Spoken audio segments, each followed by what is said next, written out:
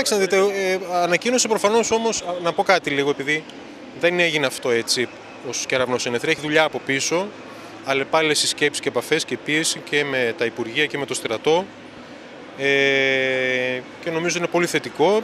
Κινείται μέσα στα πλαίσια αυτού το οποίο ζητάμε. Αυτό το πράγμα τώρα θα πρέπει να εξειδικευτεί σαφέστατα. Έτσι. Έχουν κατατηθεί προτάσεις του Δήμου. Υπάρχει ολοκληρωμένο master plan για το ποιος είναι ο σχεδιασμός. Δεν είναι, ε, πώς το λένε, μια πιστολιά στον αέρα. Το ανέφερε και ο Πρωθυπουργός ότι έχει κατατεθεί αυτό το master plan. Από εκεί πρέπει να εξειδικευτεί. Ο δρόμος που έχουμε μπροστά μας είναι ακόμα πιο δύσκολος και πιο σημαντικός.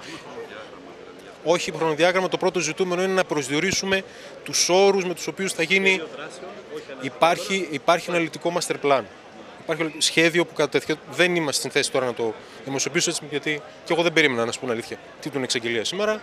Παρότι έχουν γίνει πάρα πολλές συζητήσεις, εγώ νομίζω είναι θετικό. Από εκεί και πέρα, στο επόμενο διάστημα θα δούμε και τις λεπτομέρειε του.